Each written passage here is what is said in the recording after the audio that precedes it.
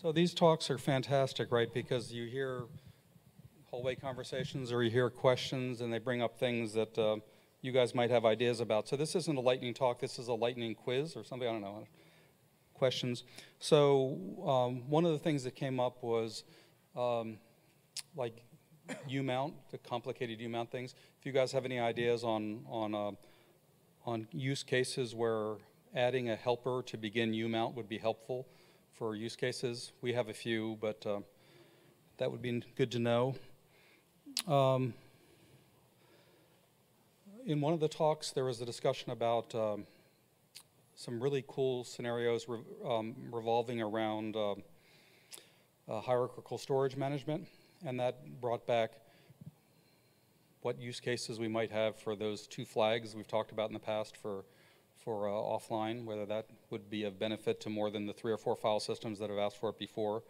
Uh, and hopefully there's no pushback about that. Um,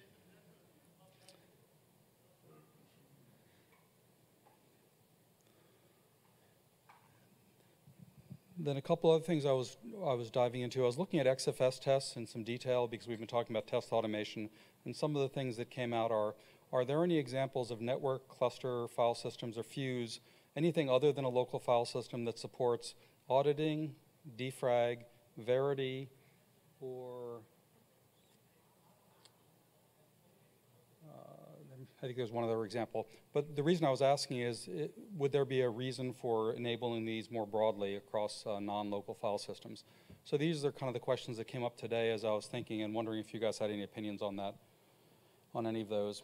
Because I was trying to look, for example, at test cases that today are skipped uh, for a large number of file systems that maybe didn't have to be skipped. Um, you know, there, there are plenty of examples of that, but those are some that came out so if any opinions on that, that might be a good thing to kill a few minutes while we're waiting for the eBPF people.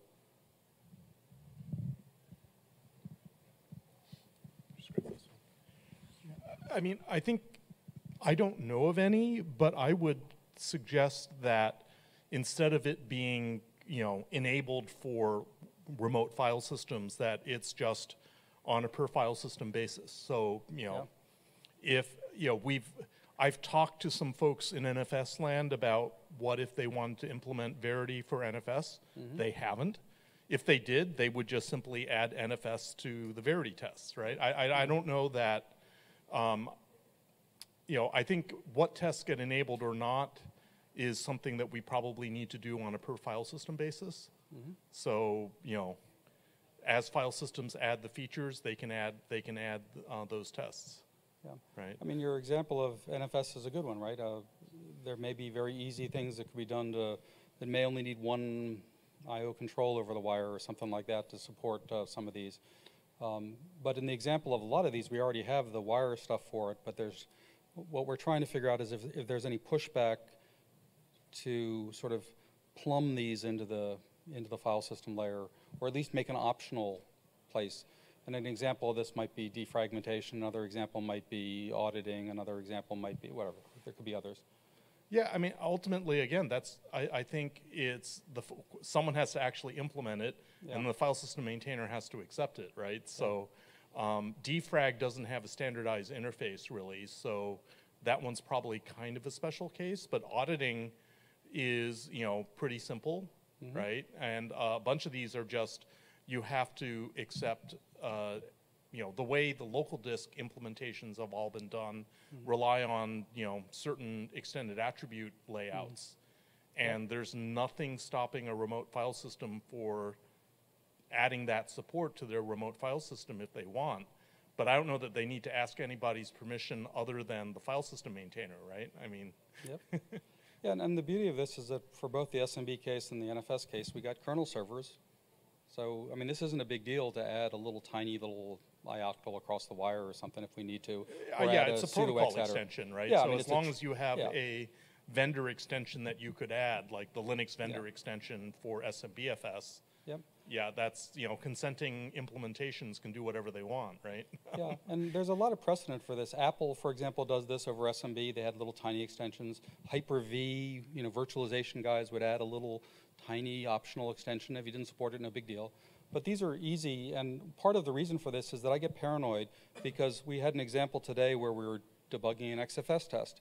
And what we found was when we got past the dumb, easy XFS test problem, we found the real bug. But 90% of these things that are skipped in XFS tests are masking sometimes other bugs that matter. Um, and we had that example today, right, where we found a, a, um, a bug in caching something else that we never would have noticed if we hadn't debugged the silly little shutdown problem. Right. So th- this is kind of my paranoia about XFS tests. I want all file systems to run as many as they can. Yeah, I mean, again, I, would like some of the file system maintainers to run XFS tests at all. So I guess I have much a lower standard than you do. Um, but like in terms of an extension, the, uh, the classic one would be the 9p 2000L extension. So you actually had Unix mode bits added to uh, the 9p protocol, which didn't have it before, right? So Yeah.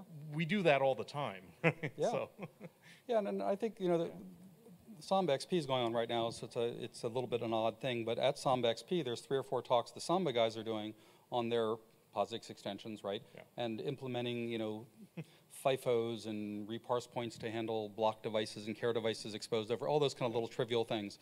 But as they make progress on this this week at Samba XP, you know, we'll even have other servers, not just the kernel server, that are, that are helping us drive to, you know, running XFS tests for everything, not just for the 40% or 30% we can run today.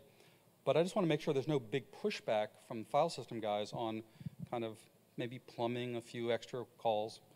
Um, because, you know, there's some obvious ones like, you know, we've talked about, right? That um, there's no particular reason wouldn't be sent over NFS or SMB or Ceph or Yeah. Fuse or whatever. Right, I mean, I think all of that code would be in FS, SMBFS, right, or Yeah. FSFs or whatever, right? Yeah. So I mean- I don't think the, I don't think the core VFS folks would care, right? Well, So, I mean, the example like iNotify, right? iNotify had really small things. Anyway, I don't want to take up too much time on this, but if you guys have feedback on that, I'll, you know, I'm here this week.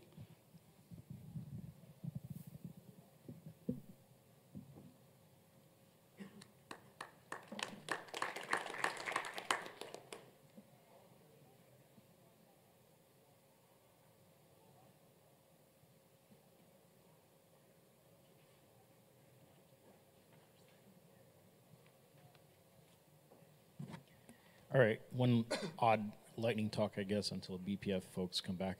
I was curious if folks have looked into stress-ng. Okay. Um, is there anything there that's missing that would help us test file systems, and can we replace some of the stuff that we have in FS tests or block tests for stressing file systems with stress-ng? Yeah, sure.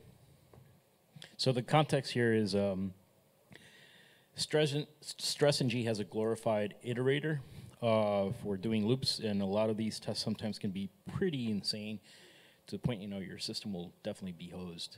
Um, so um, I have been running it for some of the things that I like to test, and it definitely has helped capture a lot of bugs. But um, I know that um, on FS test and block test, we also have a bunch of our own set of implementations for iterators for testing a whole bunch of things. It just seemed like natural to have one glorifi- glorified iterator that we'll share across different, you know, system calls or test suites and so forth. So I was wondering if folks had looked into that, and it just occurred to me that it might be good to bring this up here. Uh, so I've used it in testing and stuff.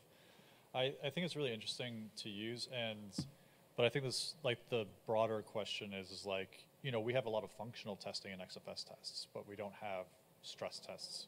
There's the load thing that you can do or whatever, but like when I when I go to stress test Btrfs, I have like specific things that I go and I run on the thing.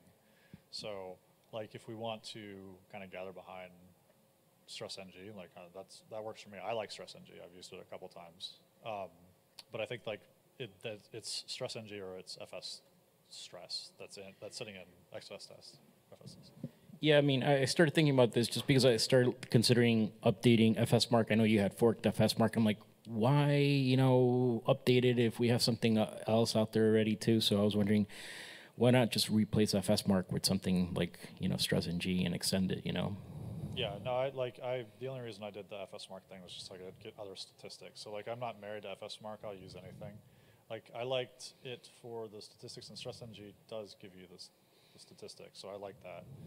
Um, but yeah, I I have no strong opinions on this. I think my having some place that we are all going to pay attention to it is useful, and this is why I like FS tests for a lot of things because like we just implement all the random syscalls that we do into FS stress, and then like all of a sudden we get like all of the the testing coverage that way. Like if if we do the atomic thing, like I'd want that to go in the FS stress thing, and so we just automatically everybody starts getting the the tests.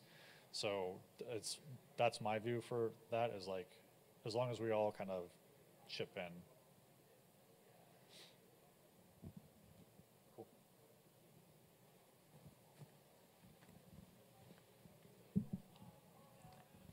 Is anybody else? For what it's worth, I wouldn't have any objection to wiring up Stress NG into XFS tests for XFS.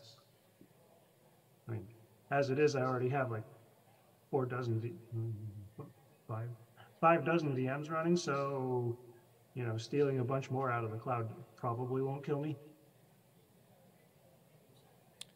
That's going to make your cloud bill be a lot more expensive, though. Yes, but I, I'm not the one paying the cloud bill, you see? Yeah, see, that's that's that. Yeah, I mean, like that's true too. We can just like hook it in, and as long as we we're using it, then we don't necessarily have to copy it in, right? Just use it as a external utility. Mhm. Yeah, it's not that big of a deal to just ha- have XFS test say, hey, if you have stress-ng installed somewhere, I'll go and run various, maybe more FS related stress tests. Yeah, I definitely like that. I think that would be really probably the best way for adoption is to like have like a stress group, and we just wire in stress ng invocations that way. hmm Yeah, one thing that uh, Zorro just merged uh, last week or the week before for uh, FS tests was the was this soak duration knob that I added that overrides time factor, so you can say I want to run this for six and a half days, and it does. Nice. And now you don't have to compute what time factor should be on some piece of hardware, blah, blah, blah. Because I got tired of doing that and figured, here's a good way to actually just run these things continuously in a loop. And every week I download the latest RC and go and see what's broken in that one. Usually nothing's broken, so I guess we're doing a decently good job.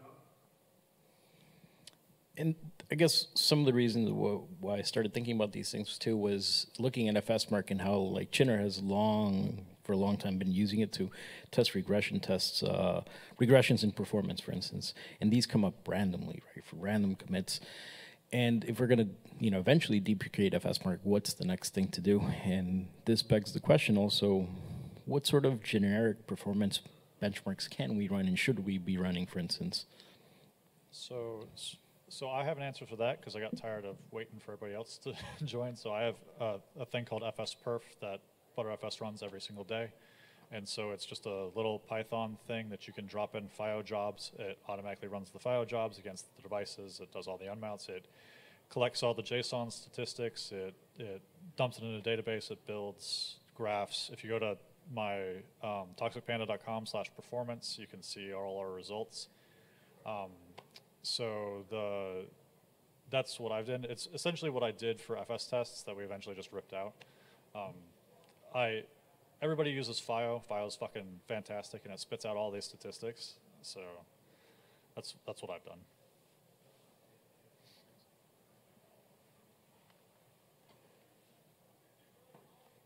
All right, I'm gonna call it.